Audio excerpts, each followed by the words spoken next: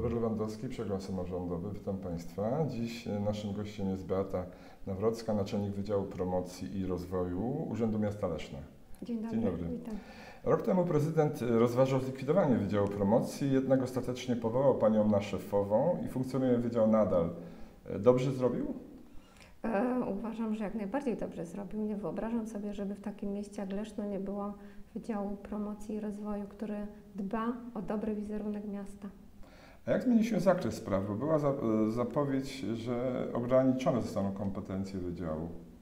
E, No w niewielkim stopniu właściwie patrząc na to dzisiaj e, odbiegają te zadania od tych, które, które były realizowane e, rok temu, a to też wynika jakby z tego, co działo się w tak zwanym międzyczasie, ponieważ była mowa o rewitalizacji.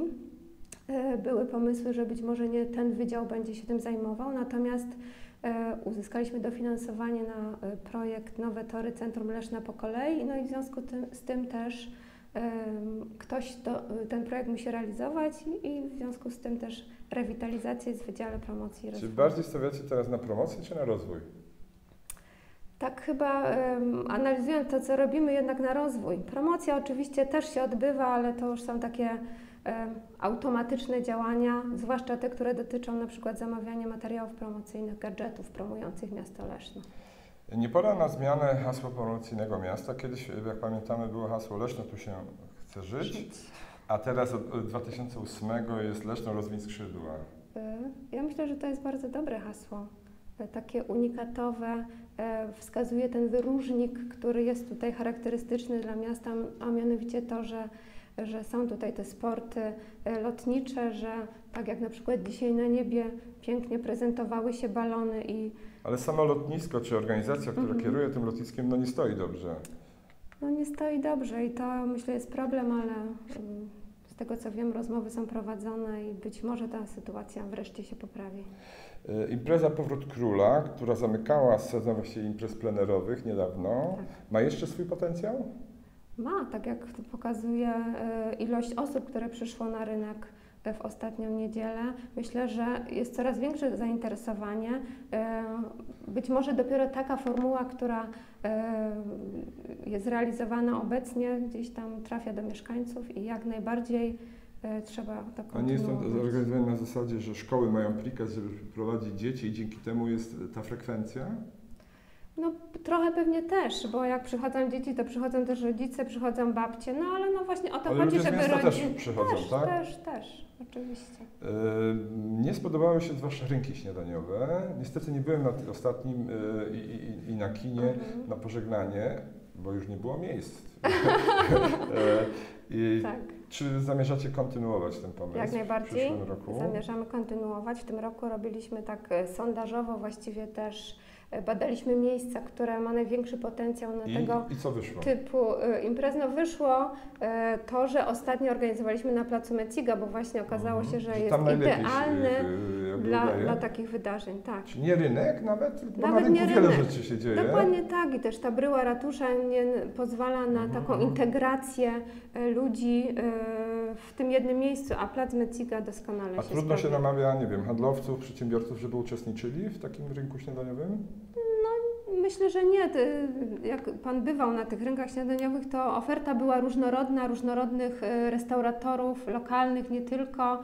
E, A, a z drugiej Także strony może dzwonili włączają się, I, do, i, i, się wpraszali, żeby się pojawić? Też, też zdarzały się takie przypadki, ale raczej to my gdzieś tam z inicjatywą wychodziliśmy. Y, Dla ludzi jednak hitem są te kolorowe parasolki nad głowami na ulicy Wróblewskiego, bo to Mhm. ładnie wygląda.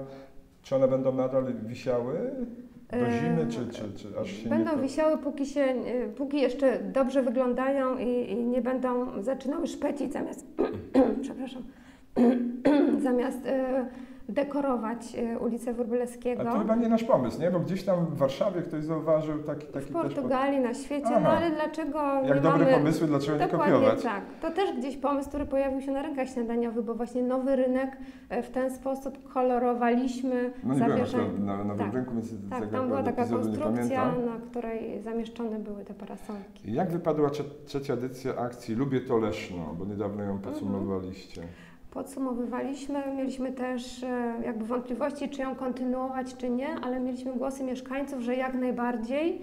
e, taka e, włączenie się takie interaktywne w to, co dzieje się w mieście, wypowiadanie się na temat miasta jak najbardziej mieszkańcom odpowiada. Było duże zainteresowanie, mieliśmy około 400 osób, które Skorzystały, czy, bo, bo tam trzeba było chyba na stronę internetową wejść, tak? tak? I tam Trzeba brać, było zalogować, udział założyć w jakimś quizie, tak? Tak, tak, były quizy na różne tematy, które miasta dotyczyły, odnośnie zabytków, odnośnie ochrony środowiska, segregacji odpadów i tak dalej. Chciałem zapytać, jak Wam się układa współpraca z Leszczyńskim Centrum Biznesu i z Inkubatorem Przedsiębiorczości, bo to jest jakby, Wam mhm. podlega ta, ta jednostka, czy... E, no nie można tu mówić o podległości, mhm. natomiast no, współpracujemy z Leszczyńskim Centrum Biznesu. Oni realizują zadania, które dotyczą e, gospodarki. U nas też e, poniekąd takie zadania są, dotyczą promocji gospodarczej, czyli pozyskiwania inwestorów i też obsługi inwestorów, którzy już tutaj zdecydowali się zlokalizować swój, swoją firmę. Więc Współpracujemy w tym temacie jak najbardziej. Jak wyglądają badania marketingowe? Wiem, że co jakiś czas prowadzicie takie, takie macie tak. jakby tu w zakresie obowiązków. Tak. Czy będą jakieś w najbliższym czasie? E, te badania są cykliczne, też chodzi o to, żeby móc porównać wyniki, zobaczyć jakie są trendy, jakie tendencje, jeśli chodzi o opinię mieszkańców na temat Leszna.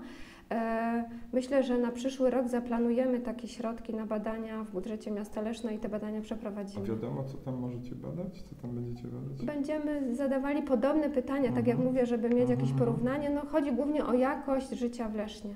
No właśnie, a ludzie mhm. jak to oceniają? Żyje im się lepiej? Mam nadzieję, że będą oceniać coraz lepiej.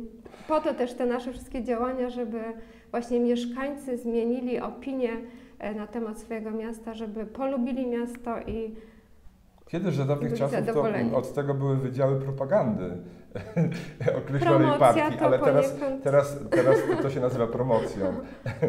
tak. Ale nie wracajmy do zamierzchłych czasów. Chciałem zapytać też o jakieś spektakularne, o te programy, y, które realizujemy z, też z funduszy międzyeuropejskich, czyli o OFAL i o OSI. Tak. Y, czy czekają nas jakieś spektakularne jeszcze tutaj mm, inwestycje w ramach OFAL-u i OSI? E, w ramach OFAL-u e, właściwie już kończymy... Wytłumaczmy, co to jest ten OFAL. OFAL tak? to jest obszar funkcjonalny aglomeracji leszczyńskiej. To jest projekt, który miasto Leszno jako lider realizuje e, z gminami powiatu leszczyńskiego oraz z gminą Przemęt i ze starostwem powiatowym I co udało się już zrobić i co jeszcze to, to jest właśnie projekt, który nie jest inwestycyjny. To jest dopiero pierwszy etap, czyli przygotowanie inwestycji, opracowanie dokumentacji, tak? opracowanie dokumentacji technicznej. Kończymy już właściwie, mamy prawie wszystkie, jedna dokumentacja jeszcze gdzieś tam jest realizowana. O ścieżki rowerowe też chyba? Dokładnie tak, chodzi. ścieżki rowerowe w całym tutaj regionie e, aglomeracji A z tego mieszkańcy są zadowoleni, bo jakby obserwować e, na, na ruch na tych ścieżkach, mm, jest który się jakby, jest coraz większy, więc Tutaj celem naszym było, żeby połączyć też ścieżki rowerowe, żeby móc się bez przeszkód poruszać w całym tutaj e, regionie leszczyńskim. A OSI, co to takiego przypomnijmy OSI. i co nam zafundujecie w ramach OSI? OSI to jest obszar strategicznej interwencji, to z kolei jest taki mechanizm w ramach Wielkopolskiego Regionalnego Programu Operacyjnego, czyli środków z Unii Europejskiej. Czyli WRPO. WRPO w skrócie. E, ten mechanizm pozwala nam na startowanie e, z wnioskami na konkretne już projekty, które wcześniej wynegocjowaliśmy. Na te projekty są, e, jest zastawiona pula środków no ale i tak musimy o nie wnioskować. Natomiast jakby zakres tematyczny mamy już wynegocjowany. Ale co, coś tutaj można konkretnie, na przykład z OSI, co, co będzie realizowane w najbliższym czasie? W najbliższym czasie już teraz są nabory wniosków, to jest na przykład zakup elektrycznych e, samochodów, e, przepraszam, autobusów, autobusów dokładnie tak. Czyli w tym roku jeszcze będzie zakup, nabór, środków, nabór środków, a pewnie realizacja w przyszłym roku. Mhm, mhm. Mhm. Do połowy września też zbieraliście propozycje do działań e, rewitalizacyjnych w tak zwanym obszarze zdegradyzowanym w centrum miasta. Tak. Do kogo adresowana była ta akcja, czy jest mhm. i czy można już o jakichś efektach mówić? To jest taka akcja, która y, odbywała się w ramach opracowywania gminnego programu rewitalizacji. E, elementem tego programu je, są przedsięwzięcia, które mają E, spowodować osiągnięcie celów w tym programie wyznaczonych. E, prosiliśmy o pomysły na rewitalizację tego obszaru tym, że zaznaczaliście, że rewitalizacja to nie jest remont, tak? Oczywiście, że nie. A co to jest rewitalizacja? Rewitalizacja to jest w ogóle wielotematyczny proces, który głównie dotyczy spraw społecznych, E, ale może też dotyczyć przestrzeni, infrastruktury, gospodarki, ale w ten sposób należy działać, aby jako ten cel wiodący, przewodni mieć poprawę e, jakości życia mieszkańców. I co, wpływają jakieś propozycje? E, wpływają propozycje, do wczoraj jeszcze wpływały, także teraz będziemy je weryfikować, grupować. A kiedy ogłosicie to? Prace nad gminnym programem rewitalizacji planujemy zakończyć do końca roku. Zobaczymy, czy nam się to uda. Mm, czy nie trzeba już zmienić strategii rozwoju miasta, bo uchwalona została chyba w 2004, potem była poprawiana? Tak, aktualizowana. Aktualizowana. E, tak. Czy, czy przymierzacie się do kolejnej aktualizacji tej e, strategii? Będziemy aktualizować, natomiast e, tę część operacyjną, bo myślę, że te wizja, misja i cele strategiczne są na tyle ogólne, że wystarczy je tylko e, Wiem, że nie, nie, niedawno, niedawno trochę jakby inny wydział, ale też no, mhm. chyba są inne przymiarki, że jednak Leszno nie będzie się rozwijać liczebnie tak jak e, myślano, więc w związku z tym nie będzie potrzeba tyle terenów pod budownictwo mieszkaniowe. Mhm. No. Tutaj w tym zakresie chyba mniej optymistycznie wygląda sytuacja niż wydawało się jeszcze parę lat temu. Prognozy demograficzne dla Leszna póki co są takie optymistyczne w porównaniu z innymi miastami, takimi większymi jak Wrocław no, ale Leszno 100 tysięcznym miastem tak nie będzie, nie na pewno nie no, będzie, chyba, natomiast, wszystkie gminy natomiast też ta liczba mieszkańców nie będzie póki co spadać. Potrzeby mieszkaniowe zawsze były, jak Pan wie, będziemy też budować mieszkania w ramach TBS-ów, więc Czyli co w tej strategii będzie trzeba zmienić? E, takie operacyjne już działania, które de facto tak strategią nie są, to są takie plany operacyjne, konkretne przedsięwzięcia, które są e, realizowane przez miasta Leszno. Na koniec jeszcze chciałem zapytać o współpracę z miastami partnerskimi. Wiem, że w ubiegłym roku obchodziliśmy w ramach dwudziestolecia samorządności w mhm. Polsce też zaprosiliśmy Mm, tych przedstawicieli miast ZUL, Modlisson, e, Derne, ale tak generalnie to zauważyłem, że jakby osłabła ta współpraca. Czy trzeba już zmienić formuły? Nie ma takiej potrzeby? Y, moim zdaniem jak najbardziej jest taka potrzeba, żeby inaczej na to spojrzeć. Troszkę zmieniły się tutaj relacje między e, Lesznem a tymi miastami partnerskimi nie da się ukryć, że Leszno już jest na innym poziomie rozwoju. Rozwinęliśmy się Oczywiście i coraz bliżej tak. nam do zachodu, tak? Oczywiście tak. W niektórych sprawach już dogoniliśmy ich? Myślę, że jak najbardziej. No, wybieramy się w najbliższym czasie do ZUL. E, będziemy rozmawiać na temat rewitalizacji, bo oni też mają taki problem jako byłe miasto e, NRD. E, zmagają się z różnymi problemami, takimi właśnie też Pewnie u nich jest wyższe bezrobocie niż u nas Dokładnie, do, o, jak najbardziej też zmienia się jakby struktura populacji, która zamieszkuje ZUL. E, dlatego myślę, że akurat w, w, tych kwestiach rewitalizacji możemy im wiele rzeczy podpowiedzieć. Czyli teraz my pomagamy partnerom, a nie tylko korzystamy z, z jakby tutaj doświadczeń tych krajów. No jesteśmy takim partnerem w dyskusji już z nimi, jak najbardziej. Wspomnijmy na koniec jeszcze, że wkrótce odbędzie się dzień otwarty w strefie IDEA. Po co on tak. jest organizowany i, i, na czym ma polegać?